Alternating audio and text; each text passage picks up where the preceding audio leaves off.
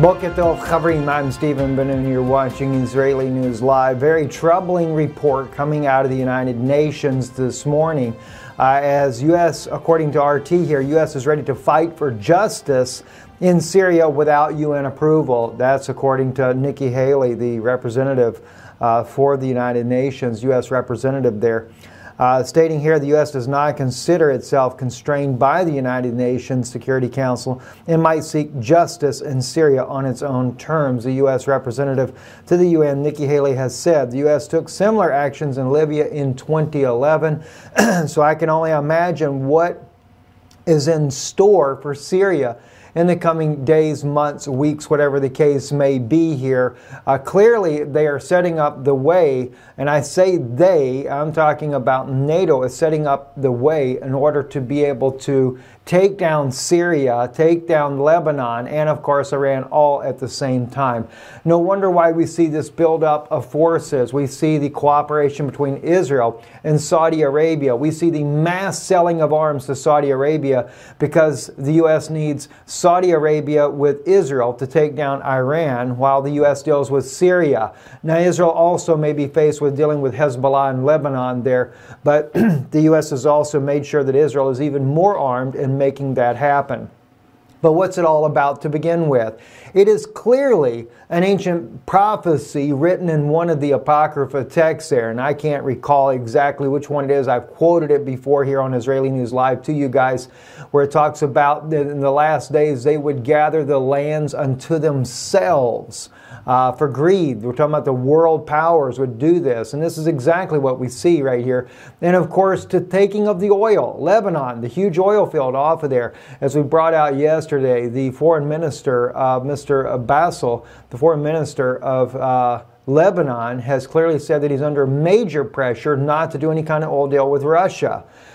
Well, that only goes to show this is exactly what will bring Russia against uh, all the nations in that area there, including even Israel. Because if we look at the Gog of Magog war, the hooks are put into the jaws. Now, I've never really quite believed that it was Russia that was part of that Gog of Magog, but let's say if it were, regardless of who it is, whether it be Russia, whether it be the United States, uh, led by NATO, it is clearly brought down to Israel with the hooks in the jaws, and the jaws are plural. So it's not one nation, it's a multitude of nations that come against Israel and not willingly.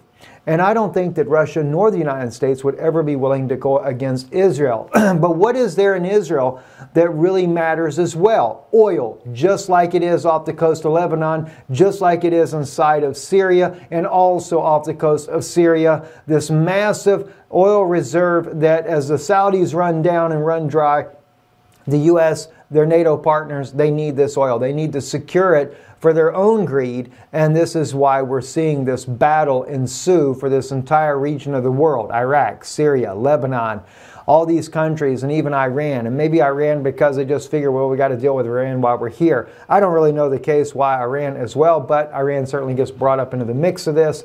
And of course, Sudan. Uh, maybe, who knows? Maybe because of all the wars that will be fought in the northern hemisphere, they figured the southern hemisphere is safer. So why not take down Sudan while you're at it so that that way you have a safe haven for all those world leaders to run to after all this is over with?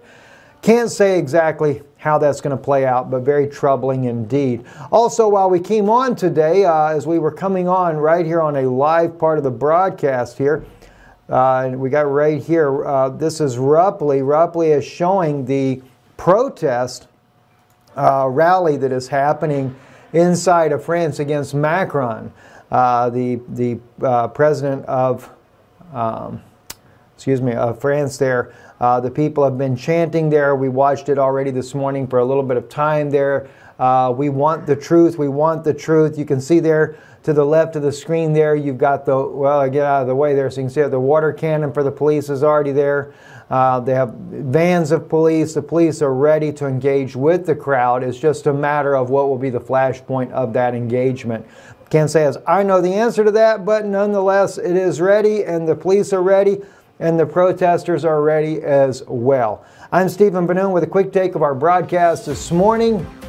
Shalom, I hate to be the bearer of Ein Shalom, there is no peace, but truly there is no peace in a world that they claim is peace. Shalom.